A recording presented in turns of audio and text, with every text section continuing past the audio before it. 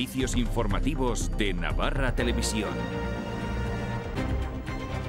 Este es el momento en el que el rector de la UMNA, Julio Lafuente, ha recibido de manos de la presidenta Barcina la máxima distinción que otorga el gobierno foral. Lafuente ha defendido el papel de la UMNA y su beneficio para la sociedad navarra.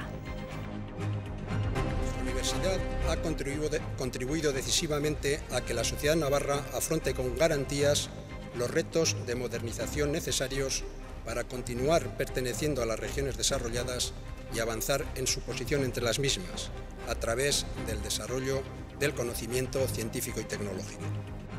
Hola, ¿qué tal? Muy buenas tardes. Esta medalla, principal condecoración que otorga en Navarra, la ha recibido este mediodía la Universidad Pública.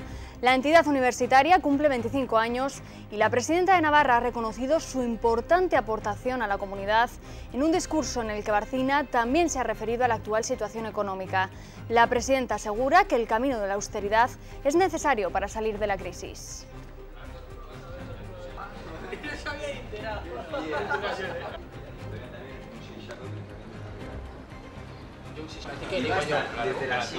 Esas reducciones, imposibles de soslayar, producen a corto plazo aún mayores dificultades, pero en realidad son la medicina, amarga medicina, que debemos tomar para salir a medio plazo de esta situación. Una jornada, la del Día de Navarra, que ha comenzado en la Basílica de Javier con la tradicional celebración religiosa en honor al patrón de la comunidad foral. A la Eucaristía oficiada por el obispo de Pamplona y obispo de Tudela, Francisco Pérez, han asistido los miembros del Ejecutivo Foral. La consejera de Salud, Marta Vera, ha negado que el Gobierno foral se haya planteado el cierre del Hospital San Juan de Dios, aunque sí reconoce que se ha decidido trasladar parte de su actividad quirúrgica al Centro Barmi.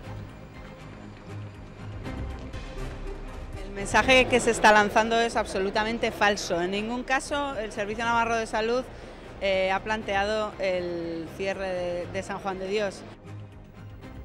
En el Día Internacional de las Personas con Discapacidad, el CORMIN, que representa a 45.000 personas en Navarra y sus familias, denuncia que con los actuales recortes se va a convertir a las personas con discapacidad en ciudadanos de segunda.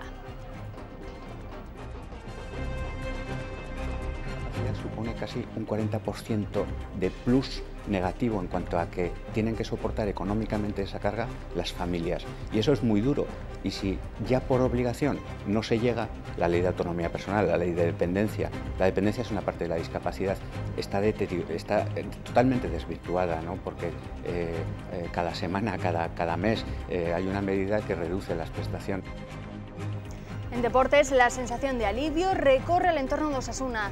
Los rojillos están fuera de los puestos de descenso gracias a su última victoria. Por eso, la visita del Valencia se toma de otra forma. Un rival con multitud de problemas en su seno y que entrenará, va a estrenar entrenador. Las buenas noticias de la clasificación se truncaron con el parte de lesionados que dejó el partido ante el Rayo.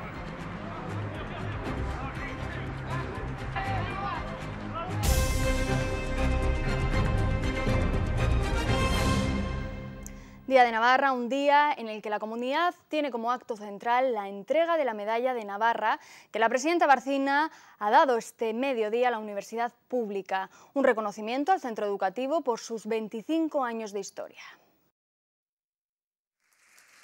Es el reconocimiento a 25 años de docencia, de investigación, de mucho trabajo y esfuerzo.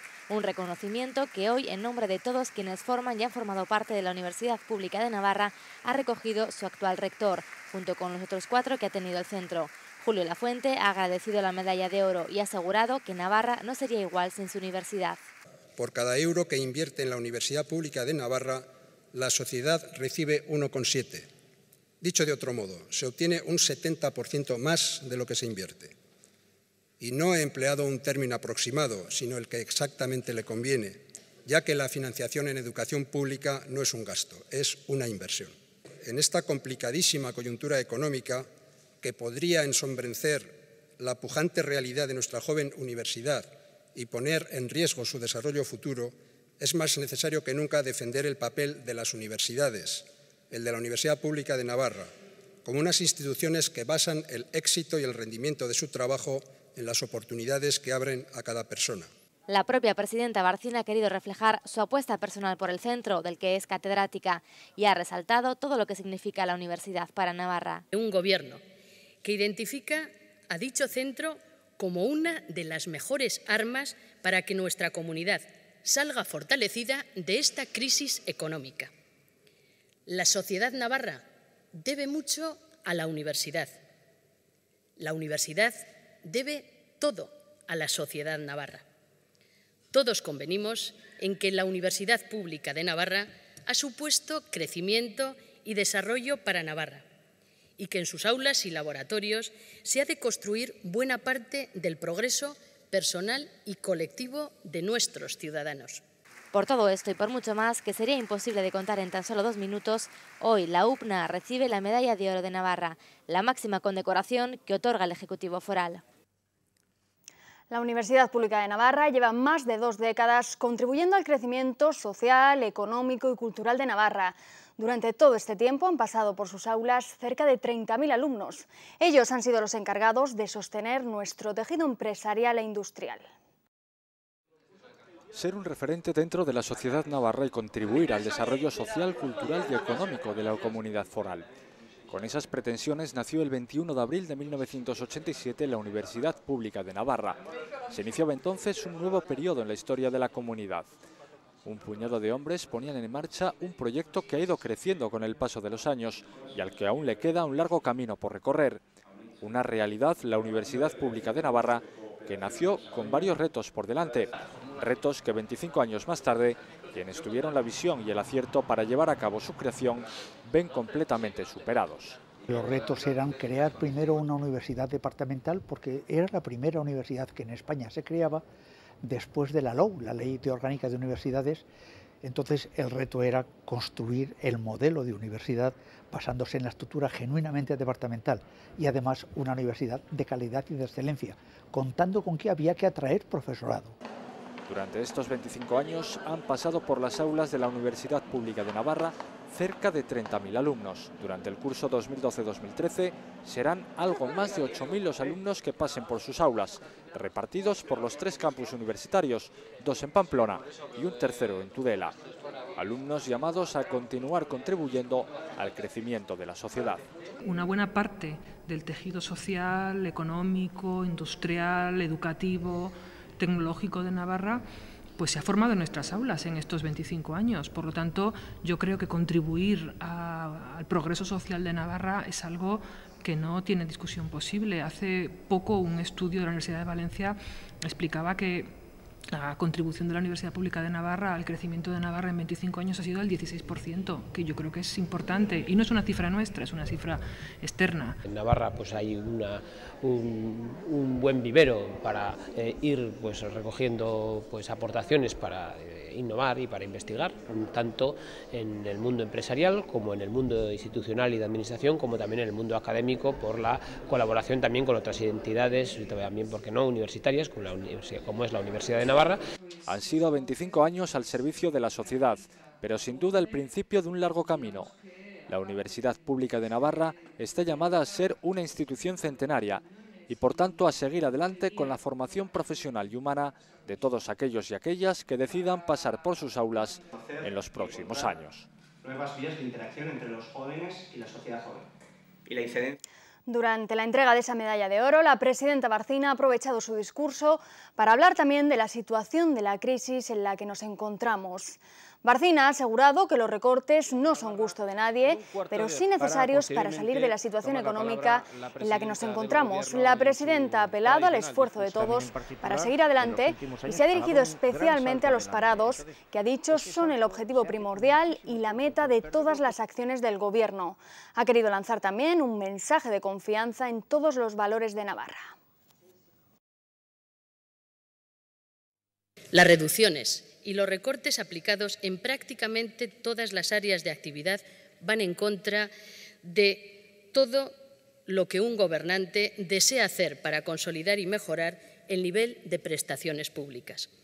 Por lo tanto, su aplicación ha sido y está siendo ingrata y dolorosa. Esas reducciones, imposibles de soslayar, producen a corto plazo aún mayores dificultades, pero en realidad son la medicina, amarga medicina, que debemos tomar para salir a medio plazo de esta situación. Así, el rigor y la austeridad que estamos aplicando nos va a permitir impulsar ideas y proyectos que prosperen en el nuevo panorama de la economía que se abre ante nosotros. Porque estos no son tiempos de poner palos en la rueda del quehacer institucional, ni de buscar ganancias en el río revuelto. Son, por el contrario, tiempos de arrimar el hombro, de ejercer la responsabilidad por encima de los intereses individuales o partidistas los actos del Día del Patrón de Navarra han comenzado a las nueve y media de la mañana en el Castillo de Javier. Allí las principales autoridades de la comunidad han acudido a la celebración religiosa en honor a San Francisco Javier. La Eucaristía ha sido oficiada por el arzobispo de Pamplona y obispo de Tudela, Francisco Pérez.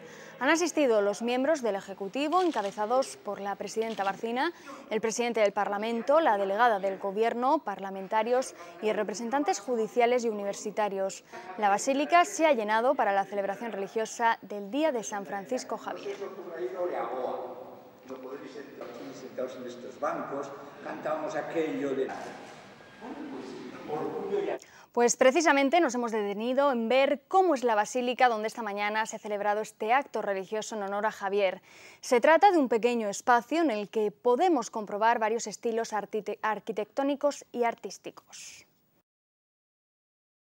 La basílica se levanta a la izquierda de la gran explanada que da acceso al castillo fue realizada por el arquitecto Ángel Goicochea entre los años 1896 y 1901 por encargo de la duquesa de Villahermosa, descendiente de la familia de Javier. Es uno de los mejores exponentes del estilo ecléctico que mezcla elementos del románico, el gótico y el bizantino. Lo primero que llama la atención es la fachada, de estilo neorrománico, que se levanta al final de una escalinata, creando una primera sensación de ascensión para acceder a lo sagrado. La portada neorrománica contiene en su tímpano los nombres de los distintos lugares de Europa, África y Asia recorridos por Javier y en sus capiteles se representan distintas escenas de su vida. El interior es una nave neogótica con tribunas lombardas. Sobre el altar resalta una gran imagen de San Francisco Javier, del artista Suñol, flanqueada por 12 santos jesuitas. Sobre varias puertas se encuentran pinturas italianas que representan distintos momentos de la vida de Javier en el castillo, obra de Caparoni. Destaca además una pequeña capilla a la derecha donde está señalado el lugar exacto donde nació San Francisco Javier. Y la Fundación Orreaga también ha celebrado hoy el Día de Navarra con una particular concentración, una expresión de lo que este colectivo considera la Navarra real, viva, euskaldún e insumisa, un acto que se ha desarrollado en la Plaza del Castillo de Pamplona.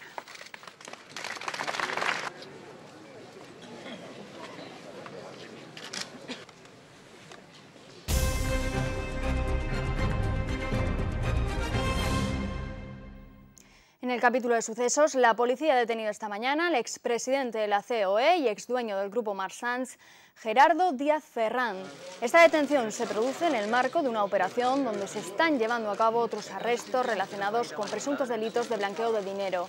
Díaz Ferrán tiene además en curso varias causas judiciales, entre otras por la concesión de un crédito de 26 millones de euros que le concedió Caja Madrid y por la quiebra de Marsans. Tenía además pendiente una citación judicial este miércoles para declarar por, la primera de estas causas.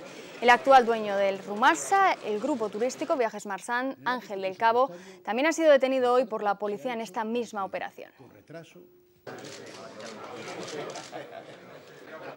De vuelta a Navarra, la consejera de Salud ha querido zanjar hoy la polémica en torno a la comunidad del Hospital San Juan de Dios. Dice eh, que en ningún momento desde el Ejecutivo se ha planteado el cierre de este hospital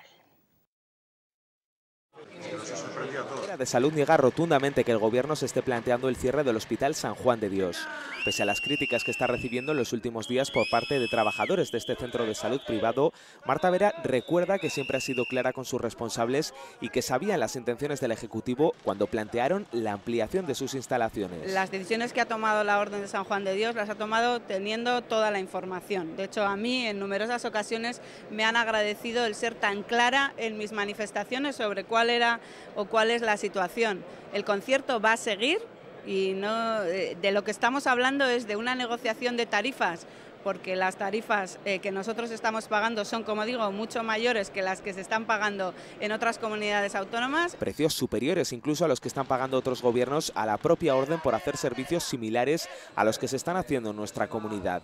Vera llama a la calma a todos porque las negociaciones están aún en marcha. Simplemente estamos en un proceso de negociación y creo que eh, las presiones en este proceso de negociación pues no son buenas para nada y menos, bueno, pues diciendo cosas que son, como digo, absolutamente falsas. Los cambios en las derivaciones, explica la consejera, responden también a las políticas de austeridad que está llevando a cabo todo el Ejecutivo. El Servicio Navarro de Salud está equipando cuatro nuevos quirófanos y cuando estén en marcha será más barato utilizarlos que externalizar las intervenciones. Es de absoluta lógica y a cualquiera se le puede ocurrir, y de hecho nosotros lo hemos, se lo hemos dicho a la Orden de San Juan de Dios desde hace muchos meses, la actividad quirúrgica de traumatología que se hace en el Hospital San Juan de Dios pasará a hacerse en los medios públicos, en los centros que tenemos nosotros, en los eh, quirófanos que estamos equipando. La consejera quiere destacar la calidad con la que se trabaja desde hace muchos años en el Hospital San Juan de Dios, pero recuerda que en estos momentos es necesario que todos hagan un esfuerzo. Una coyuntura económica que llega a todos los sectores de la sociedad. Hoy es el Día Internacional de las Personas con Discapacidad, pero este año la discapacidad no tiene nada que celebrar. Más bien quieren reivindicar y denunciar los recortes que también están sufriendo. SOS Discapacidad no es una forma de llamar la atención, sino una llamada de emergencia en toda regla. Un grito de auxilio de un sector que está sufriendo demasiados recortes. Aseguran que se está desmantelando el estado de bienestar. El año pasado en Navarra, ya concretando la situación de aquí, eh, la discapacidad sufrió un recorte de un 23%.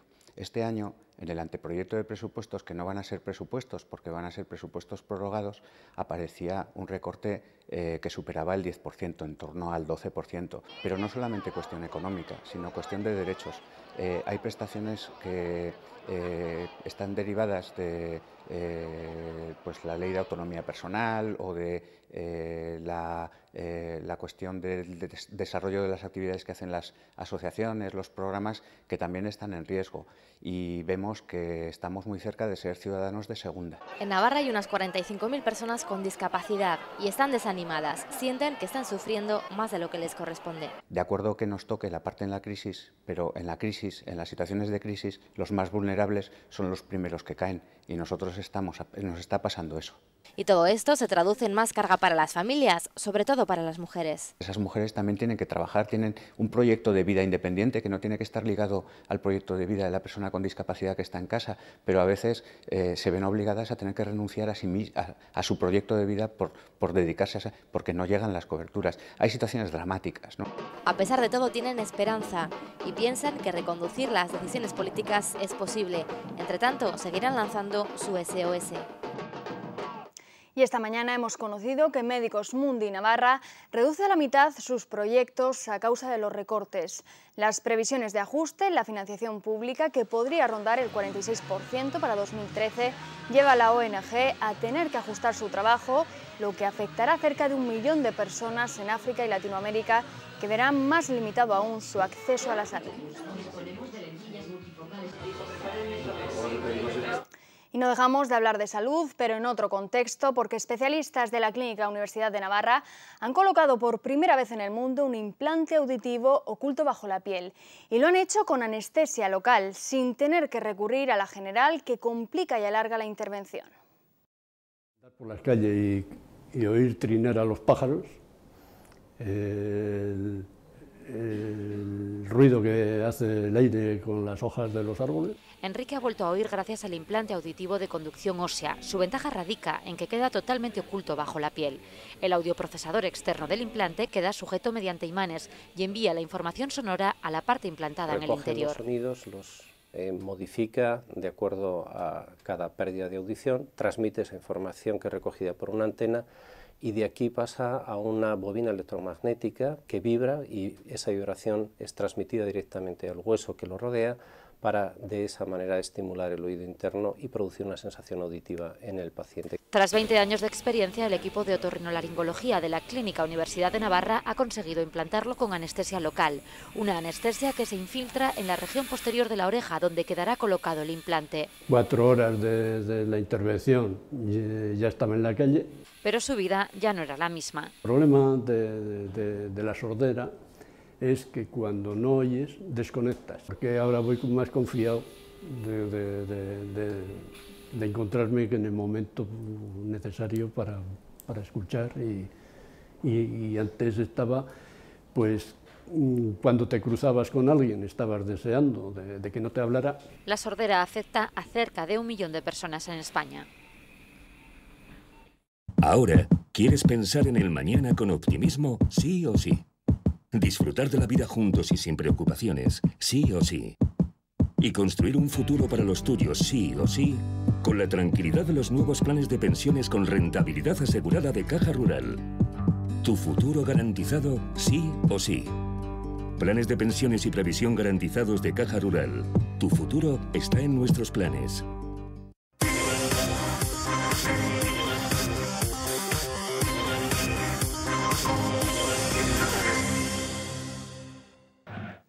Y Ríos Renovables y Triman Navarra han disputado este fin de semana el derby foral en la Liga de Fútbol Sala. El partido no defraudó y Triman consiguió llevarse el gato al agua por la mínima. Intensidad, ocasiones, buen juego y emoción es lo que se le suele pedir a un derby y es lo que pudimos encontrar en el partido que enfrentó en Tudela a Ríos Renovables y Triman Navarra. Los de Urzum aprovecharon las ocasiones que desperdiciaron los locales y se llevaron un choque por la mínima que les permite seguir aspirando a conseguir sus objetivos. Rafa Usín abrió la lata para Triman en el minuto 9 de juego. El madrileño mandaba el balón a la escuadra de la portería de Molina desde la frontal del área. Nano Modriego hacía el gol del empate en el minuto 17 y con este resultado ambos equipos se iban al vestuario. Tras la reanudación, el Río salió por todas para tratar de mandar en el partido tras la igualdad de la primera parte. El partido se volvía loco y de ello sacó provecho Triman Navarra y en especial Jesulito, con este tremendo zapatazo, los de volvían a ponerse por delante en el marcador. Y justo dos minutos después, de nuevo Jesulito marcaba el tercero para Triman, poniendo en el marcador una diferencia de dos goles.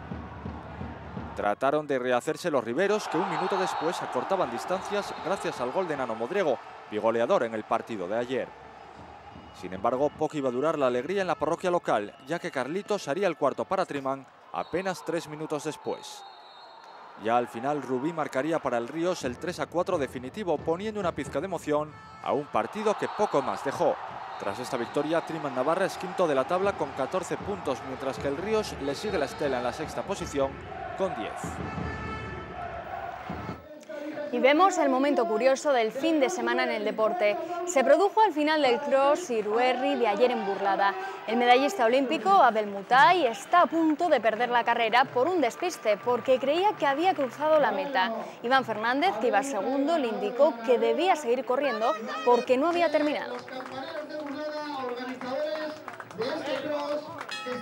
Y el Betis Itasuna ha organizado una jornada festiva para recibir mañana al Barcelona en la eliminatoria de octavos de final de la Copa del Rey. La eliminatoria se decidirá partido único en Pamplona, por lo que el club ha decidido que dará a cada espectador un bocadillo gratis. El conjunto pamplonés llega a este partido en un buen momento de forma con el objetivo de sorprender al equipo catalán. Los navarros solo han perdido uno de los seis últimos partidos de liga y ocupan la zona media de la clasificación. Ahora, ¿quieres pensar en el mañana con optimismo, sí o sí? Disfrutar de la vida juntos y sin preocupaciones, sí o sí. Y construir un futuro para los tuyos, sí o sí, con la tranquilidad de los nuevos planes de pensiones con rentabilidad asegurada de Caja Rural. Tu futuro garantizado, sí o sí. Planes de pensiones y previsión garantizados de Caja Rural. Tu futuro está en nuestros planes. Vemos ya la previsión del tiempo para las próximas horas. Centro Navarro de la Audición. Cinco años de garantía en audífonos. Cinco años de pilas gratis. Un mes de pruebas sin compromiso. Nos importa su salud auditiva. Le vamos a escuchar. Nos va a entender. Paulino Caballero 14 Bajo, Pamplona. Hasta el 21 de diciembre le obsequiamos con Lotería de Navidad. Mañana tendremos en Navarra cielos muy nubosos o cubiertos con precipitaciones débiles o localmente moderadas y ocasionalmente con tormenta que en el tercio norte podrán ser persistentes. La cota de nieve estará bajando de los 1400 a unos 800 metros al final del día.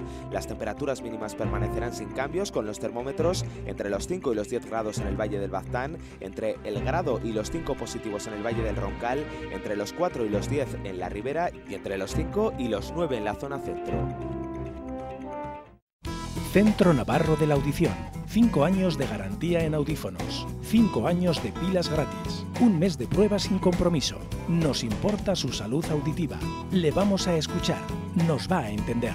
Paulino Caballero 14 Bajo, Pamplona. Hasta el 21 de diciembre le obsequiamos con Lotería de Navidad.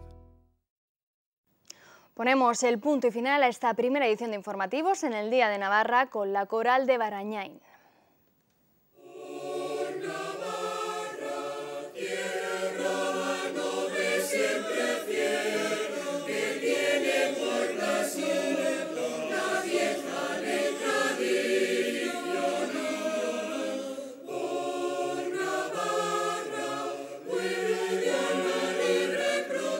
Despedimos con la coral de Barañáin, la única coral navarra que va a participar en la semana del Gran Premio Coral 2012. Disfruten de la tarde, adiós.